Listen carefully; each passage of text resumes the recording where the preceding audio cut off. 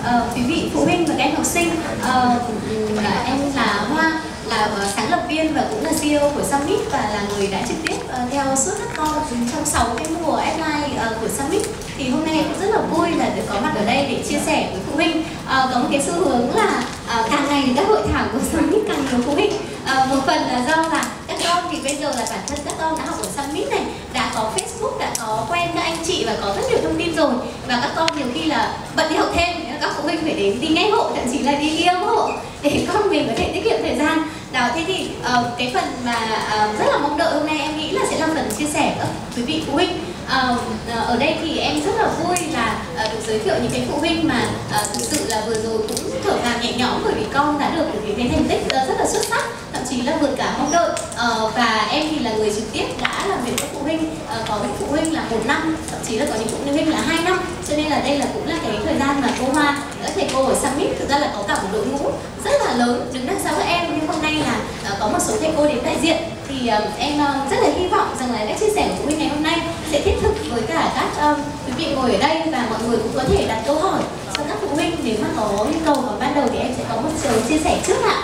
Vâng thế thì uh, câu hỏi đầu tiên thì là uh, em xin được uh, dành cho của bạn uh, Đào Vũ Quang. Uh, bạn Đào Vũ Quang thì có một cái đặc điểm là à, ngay từ lớp 11 thì bạn đã tương đối là nổi thực dạng là nổi trường an bởi vì là học chuyên toán à, và có điểm số trung bình môn rất là cao. À, bạn lại là à, đại sứ An và nhưng mà bạn thì à, có cái điểm về tiếng Anh à, điểm SAT hay là TOEFL thì cũng đều đặc biệt cao ạ. Thế thì hôm nay thì à, à, em muốn mời mẹ Hữu Quang chia sẻ một chút rằng là uh, con mình thì học chuyên toán và chuyên tự nhiên uh, nhưng mà uh, chị đã um, giúp con định hướng như thế nào từ ban đầu để Vũ Quang có cái sự toàn diện như vậy? Bởi vì một trong những cái vấn đề uh, số 1 của các bạn học chuyên toán và xin tự nhiên là đôi khi là ngại học tiếng Anh hoặc là uh, tiếng Anh rồi hoạt động ngoại khóa lại bị ít chẳng hạn. Thì không biết là chị có thể chia sẻ với các phụ huynh ở đây là quan niệm về giáo dục con của chị như thế nào và chị đã chuẩn bị cho Vũ Quang uh, chính xác là cái từ thời điểm nào?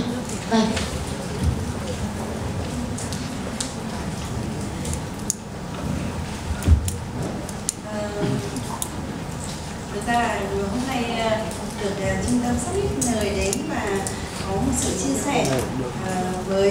Huynh cũng như là với các bạn học sinh mà đang đặt mục sư học lên hàng đầu. Ờ, vì vậy mà mình cũng cảm thấy rất là vui ờ, và cũng, cũng cảm thấy vui chút là rất là tự hào với thành tích mà con mình cũng đã đạt được cái ước nguyện cao nhất của nó trong ờ, mấy năm vừa rồi. Ở đây thì khía cạnh cô Hoa muốn hỏi mình chia sẻ kinh nghiệm về việc cho con đi học tiếng Anh thì ừ, mình cũng nên mình mình mình cũng nghĩ rằng mình cũng nên chia sẻ là thứ nhất là mình cũng là nhà giáo cho nên quan điểm của mình từ khi mà mà mà mang bầu cháu thì thực ra là cháu là cũng cũng cũng là một cái quặng. Nói thực là đấy là món quà trời đã cho mình. Bởi vì lúc mình sinh con là lúc 39 gần 40 tuổi. Nhưng mà ngoài ngoài dự định của mình. Thế nhưng mà quả thực là vì lúc ấy mình đang đi học cao học cho nên mình cũng, cũng nghĩ là cái việc sinh con có lẽ là dừng. Tất nhiên là mới có một đứa thôi nhưng mình vẫn nghĩ là, là việc học cao học nó cũng rất là là mất thời gian nên mình cũng không dám. Thế nhưng mà ờ, đến lúc có bầu thì mình xác định ngay là là sẽ rất là để ý đến đến đến đến ờ, cái cái tương lai của mình. À, vì vậy mà khi mà cháu sinh ra mình cũng đã uh, nghĩ đến là cái con người toàn diện. Chứ mình cũng không nghĩ là mình chưa từng nghĩ đến là cho cháu đi du học sau này hết.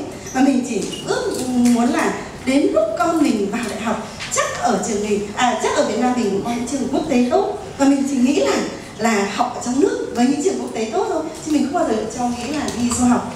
Và chính vì thế mà mình cũng muốn là con mình nó toàn diện.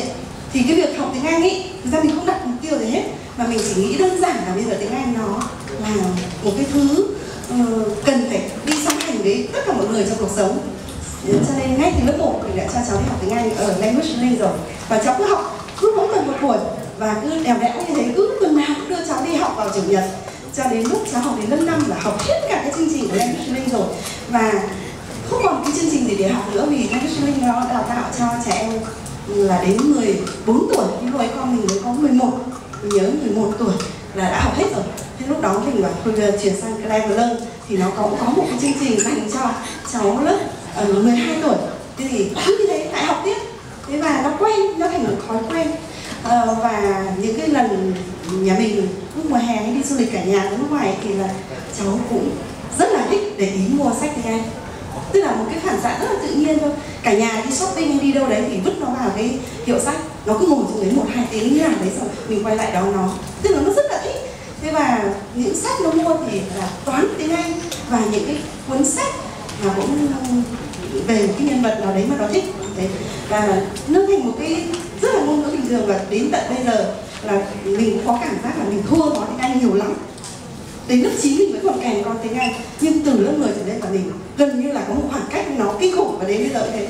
Nhiều lúc mẹ con phải bảo con ơi mẹ cũng chưa rõ lắm con xem lại giúp mẹ. Đấy.